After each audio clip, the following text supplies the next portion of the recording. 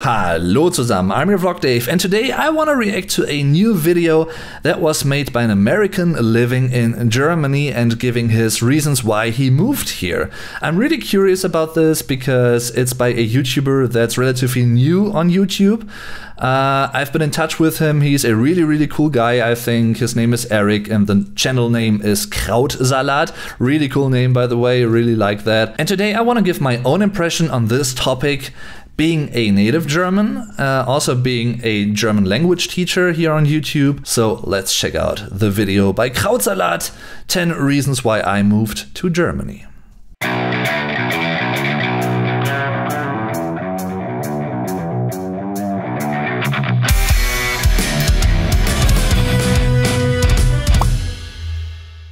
So I'm gonna start the video in three, two, one, los! Ah, that's an interesting, cool intro. Guitar is always a plus. Welcome to Krautsalat. I am Eric, an American living in Germany. Welcome back to my channel. I am always asked, Hi. Why Germany? Why do I come here? Well, I put together a list of 10 reasons why I did. Number one, mm-hmm. the first one, a girl. That is why I started coming here to Germany. Perhaps quite obvious. It's typically the first joke that comes up. I met a girl, I came here, I visited, and I liked being here. That is really cool. I mean, of course, not what you might have expected, guys. Uh, you might have expected uh, another reason being mentioned first, like, oh, the beautiful landscapes and the great German dishes, sauerkraut, and all that kind of stuff, German beer, German bread, things we are famous for, uh, German castles and whatnot. But it was love. It's always down to personal taste, of course, but German girls and German women uh, are really, really, really, um, well, likable uh, creatures. Uh, I would say uh, thumbs up uh, for that choice. Number two, zwei. I felt at home. Hmm. When I came here, just as a visitor, and I stayed for a little while, this feeling of home was something that I didn't I didn't quite know. Like I moved around in the US a lot mm.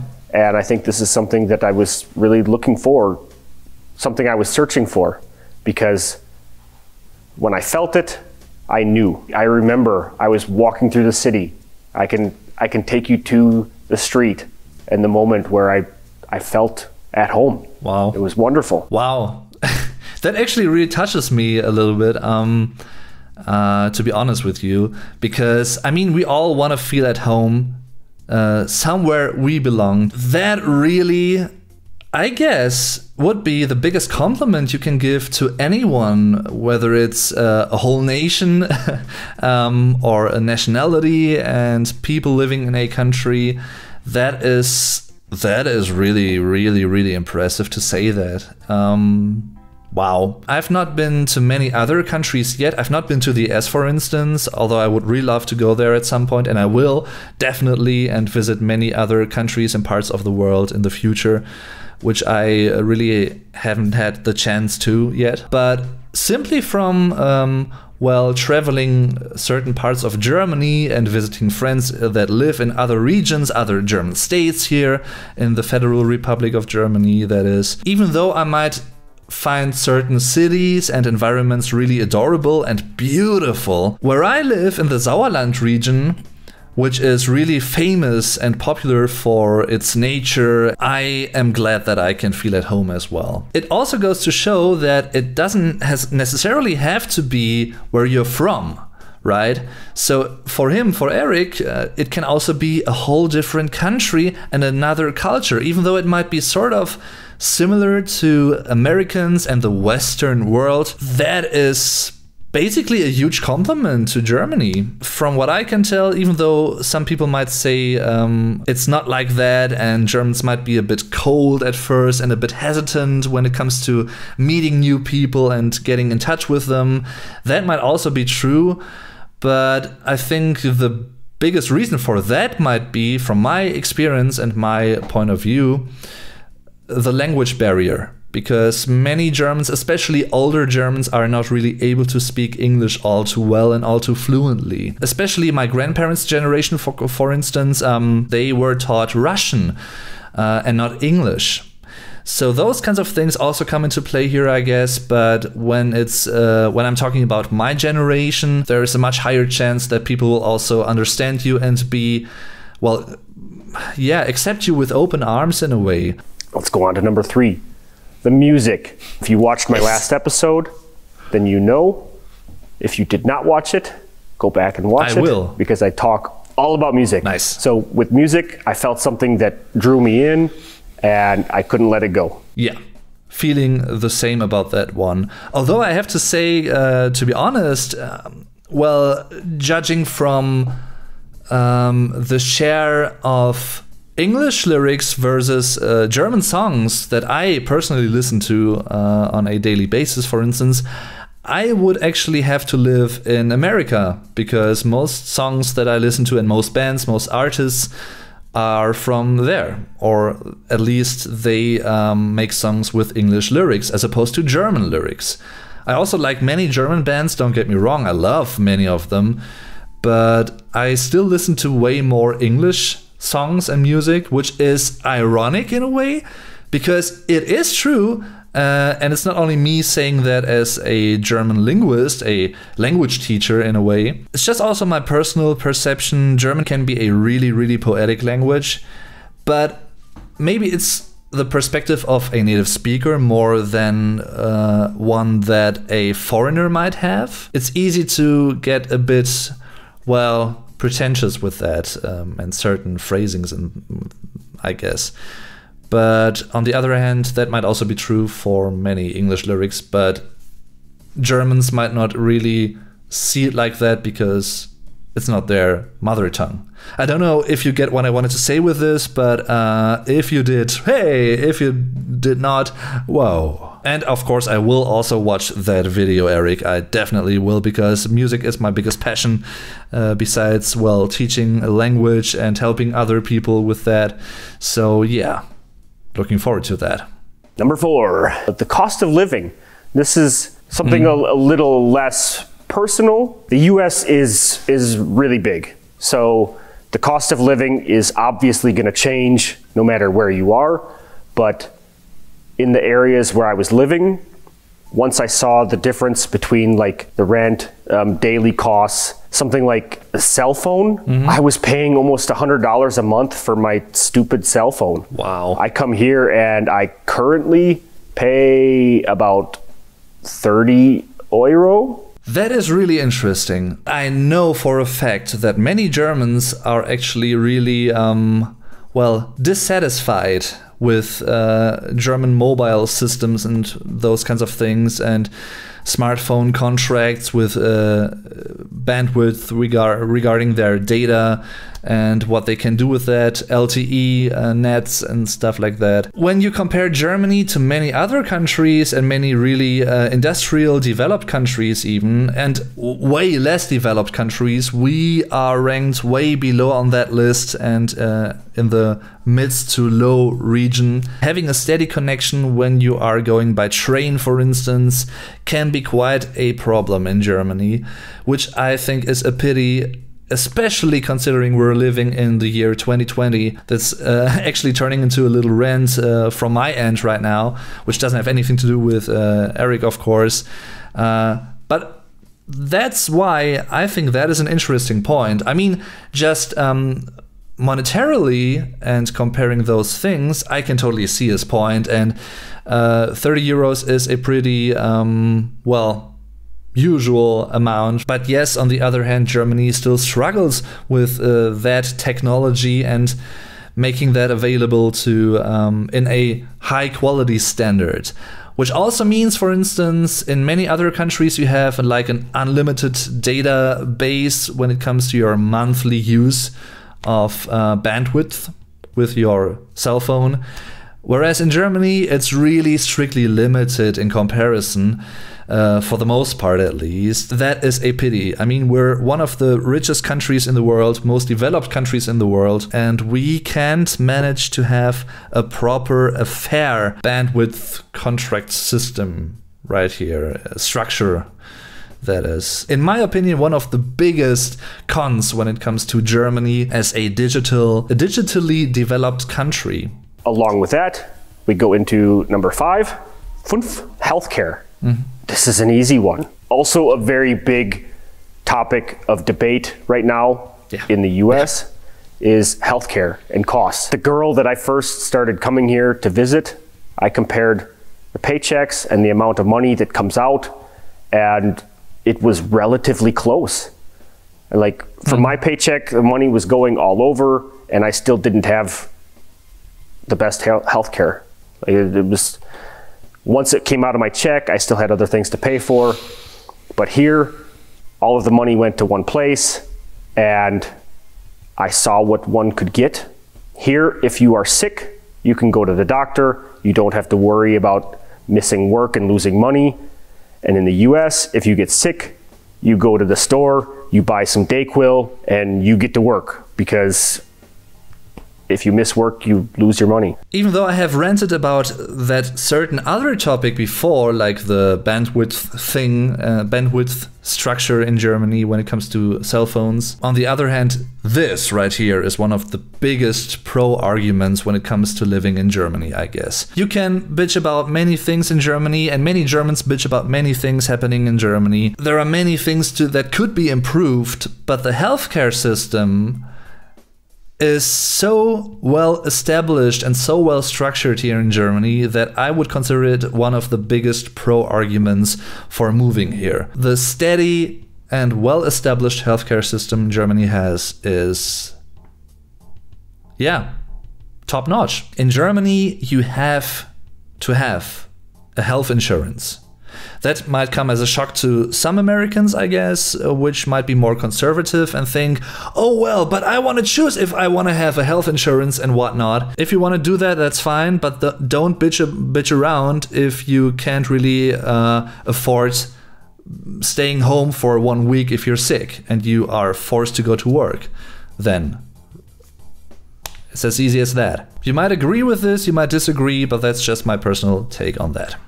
I'm really, really happy, especially in these days, honestly, uh, filming this during the corona crisis and stuff, that I am living in Germany and not in certain other countries. Then again, I also have to be fair and I want to be fair. It's not a fault of the citizens, first and foremost, it's uh, mistakes being made by the politicians and the political structures and systems. My two cents. Number six. Six. Urlaub. Vacation. Oh, yeah. Here in Germany, uh, so much more time is given compared to the US. I've got, I've got friends in the US that mm. have really nice jobs and they do get four weeks vacation, but also mm-hmm. so much more work. I've had times in my life where I had to work six or seven days a week. Wow. And then only two weeks vacation for the year. That really surprises me uh, because I didn't know that. I mean, what I did know is that as opposed to Germany, where you have a day like Sunday where you don't work usually, apart from a few specific stores and uh, those kinds of things like bakeries, gas stations. But apart from those specialties uh, and exceptions, Sundays, der Sonntag, die Sonntage, well, that is a day off no one works on a Sunday in Germany. It's the end of the week, by the way. Uh, whereas I think in the US, if I'm not mistaken, the Sunday is like the first day of the week. And in Germany, Mondays are considered the first days of the week. I think that's correct. Uh, I might be wrong. If I'm wrong, feel free to correct me in the comments. Uh, or Eric, feel free to correct me if you're watching this. When it comes to companies in Germany, for instance, the company that I work for, many of them have a five day week from Monday to Friday. Some of them might also have like a six day week from Monday to Saturday. I'd say for a usual full time job in Germany, it's usually between 35 to 40 hours per week. And round about 8 hours of work per day. For instance, the company that I work for, I'm working 40 hours a week. 8 hours a day. Also, regarding holidays, that can also differ from, I don't know, um, let's say 20 holidays per year to 30 or even more than 30, uh, especially in more industrial um, based jobs. Number seven, Sieben, the quality of food. This is interesting. You wouldn't expect hmm. it, but the US has so much fake food. It's horrible.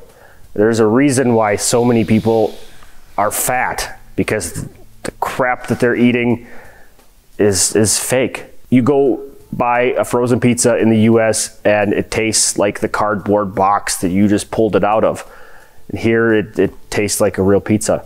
And then some like huh. McDonald's I eat at McDonald's again. I have a better diet than this. I'm just using an example, so don't be too yeah, hard yeah, on me. Of course, but McDonald's, Eric, of course, yeah, the yeah. food is so much better here. Of course. Like it, you kidding. go to McDonald's in the U.S. and you hate yourself because you know you just put some nasty shit into your stomach. Yeah. Many Germans also struggle with that. They like it, but on the other hand, they don't want to eat it, but then they do because they like it, but they don't like it at the same time. And it's a never ending, like a vicious circle. The struggle is real for Germans as well, but from what I can tell, I mean, that sort of fits with what I have heard from um, many other people that have experienced and tasted uh, German food that it's of quite a high quality. And I've especially heard that regarding bread. And I mean, we are famous for having so many different kinds of bread, more than pretty much any other country in the world, as far as I'm concerned. Uh, the same is true for German beer. Uh, like alcoholic beverages, especially beer, because we have das Reinheitsgebot, which basically says that it's only allowed to use, uh, I think, three basic uh, ingredients for beer. Thumbs up for German food and drinks, I guess. Appreciate it. And number eight, acht, the weather.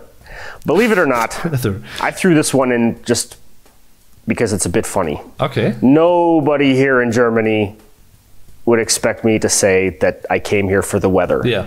True. Especially when I say Very that true. I moved here from Florida, where I lived for about 12 years. Now, I will make my point with this Florida was too goddamn hot. I'm sorry. Ah, okay. Florida is great for a lot of people, but unless you go to the beach, you're not really outside enjoying it. Mm. There's at, at the moment today, it's it's a shitty rainy day, but that happens. I, I still rode my bike today the weather here, at least in this part of Germany where I live, it's nice to go out and enjoy it. Mm. Like the, the air feels good to breathe. You're really right about this. I didn't expect that to be mentioned. But I can see your point, definitely. Especially also when it comes to other countries uh, regarding humidity, uh, high humidity, especially because Germany has a sort of, um, well, how should I put it? It's not too warm most of the time and it's not too cold most of the time. When it's summer, I mean, it can go up to, let's say, 40, 41, 42 degrees Celsius every now and then, but not always. Um, like, you will also have many summer days that are like, I, I don't know, 25, 26, 27, 28 degrees at a max. I take it as it comes and just enjoy it. All right, number nine, comfort within the culture. Some things that I hmm. quickly learned um, the way of life, like getting around the city by bicycle or by foot if you need to go, public transportation. For me, having spent most of my life needing to get around by car I really fell in love with being able to hop on a bicycle and go wherever I needed to in the city. Like it's uh, it's it's something quite simple. I know most people don't put any thought into it, but for me this was a really big deal. I was so sick of driving a car in the US. It was everywhere. But to just hop on the bike and go through the city that is true. I mean, you can do that in many German towns and cities, uh, also, of course, villages as well. There are even many ways, especially made for bicycle uh, drivers. On the other hand, I mean, you also have, like, for instance, the pedestrian zone. I'm living close to it, and you're not allowed to uh, ride your bike through the pedestrian zone. I mean, it's interesting that you say that because, as some of you might know, and I guess you are also aware of that, Eric, uh, Germany is really big when it comes to cars and uh, the, also the history of cars and engineering, car engineering, and those kinds of things. Mercedes, VW, BMW.